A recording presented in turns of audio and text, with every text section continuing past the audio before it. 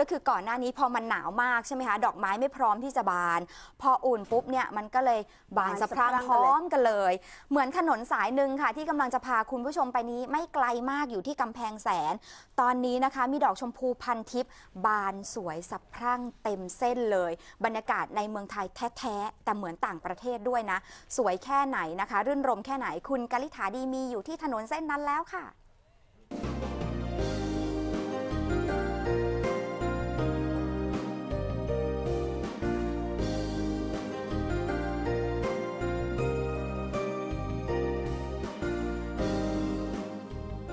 สะพรั่งอวดสีสวย เนรมิตให้สองข้างทางถนนวัฒนาเสถียรสวัสดิ์หน้าโรงเรียนสาธิต มหาวิทยาลัยเกษตรกำแพงแสน กลายเป็นสีชมพู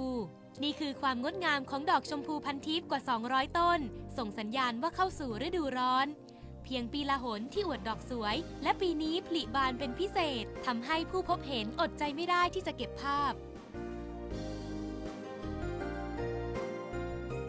ยามบ่ายแดดแรง แต่คู่นี้ก็ไม่ยอมถอยค่ะ เพราะตั้งใจมาบันทึกภาพเพื่อวันสำคัญ เดินทางจากกรุงเทพมานครปฐมเพื่อเก็บภาพโค้งสุดท้ายที่แลเห็นชมพูพันทิพย์ได้ไกลกว่าทุกปี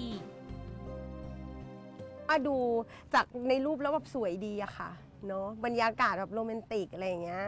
แล้วเราก็กำลังจะแต่งงานกันอยู่พอดีอะค่ะ เราก็เลยจะมาถ่ายรูปประกอบพรีเซนเตชันด้วย ก็พก หมวกมานะคะเพราะว่าแบบอุ๊ยจะได้มาเป็นพ็อปในการถ่ายรูปเนาะถ่ายรูปออกมาจะได้สวยๆเหมือนอยู่ต่างประเทศอะไรอย่างงี้ค่ะไม่ต้องไปเที่ยวต่างประเทศมาเที่ยวเมืองไทยก็เหมือนได้ไปเนาะก็รู้สึกเหมือนได้อยู่ที่เชียงใหม่เหมือนกันเลยครับ เพราะว่าบรรยากาศอะไรก็ได้หมดเลยแล้วบ้านเขาอยู่เชียงใหม่ด้วย มองไปก็เป็นสีชมพูทั้งถนนเหมือนกันค่ะคล้ายๆต่างจากกันเชียงใหม่ยังไงไหมคะก็คงต่างที่บรรยากาศนิดนึงครับเออมันจะเย็นหน่อย แต่ที่นี่ร้อนหน่อย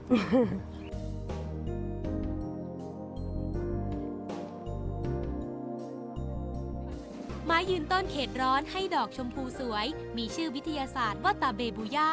คนไทยเรียกชมพูพันทิพย์เพราะตั้งเป็นเกียรติแก่หม่อมราชวงศ์พันทิพย์บริพัตรผู้นำเข้ามาจากอาร์เจนตินาเมื่อพศ 2500 เมื่อปลูกง่ายจึงแพร่หลายจนพบเห็นได้ทั่วไปไม่เว้นใจกลางกรุงเทพ ปีนี้ให้ดอกมากและบานช้ากว่าปีก่อนถึง 10 วัน เพราะอากาศเย็นยาวนานทอดเวลาทิ้งใบ จนพร้อมผลิดอกสะพรั่งเมื่อหน้าร้อนมาถึง ไอ้ต้นไม้ชนิดเนี้ยมันต้องต้องเจออากาศคล้ายๆ แห้งค่ะๆนานๆนะคะมันถึงจะทิ้งใบ ทิ้งใบแล้วก็ออกดอกเยอะๆค่ะ แล้วก็พอดีก็อาจจะปีที่แล้วมันก็มี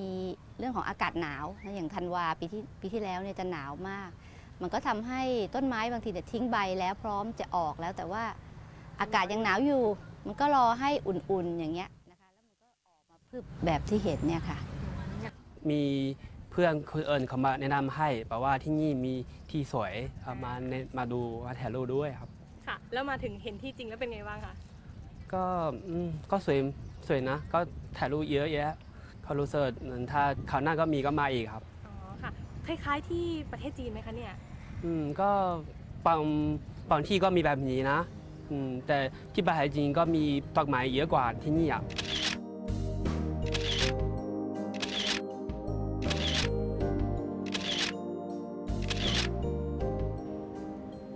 คุณผู้ชมคะตอนนี้ก็เหมือนเดินอยู่กลางพรมชมพูเลยนะคะ ส่วนจุดที่คนนิยมนำมาถ่ายภาพค่ะ ก็มักจะเป็นจุดที่ต้นชมพูพันทิพย์นั้นโน้มกิ่งลงมาต่ำแบบนี้นะคะ มาถ่ายเพราะว่าก็จะได้ใกล้ชิดกับดอกไม้มากที่สุดค่ะ แต่ว่าสิ่งหนึ่งที่คนที่นี่เขาพยายามรณรงค์กันอยู่นะคะ คือไม่อยากให้ไปเด็ดดอกไม้ออกมา เพราะว่าต้นชมพูพันทิพย์นั้นก็จะออกดอกบานสวยให้เราได้เห็นแบบนี้แค่เพียง 2 สัปดาห์เท่านั้น เพราะฉะนั้นก็แค่ถ่ายภาพไปอวดเพื่อนๆในโซเชียลมีเดียก็น่าจะพอนะคะ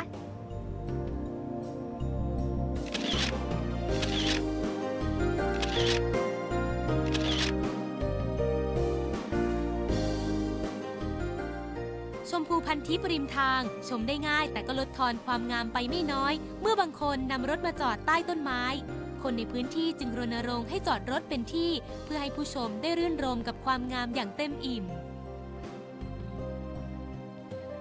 ชมพูพันทิพย์อยู่คู่มหาวิทยาลัยเกษตรกำแพงแสนมานานกว่า 30 ปี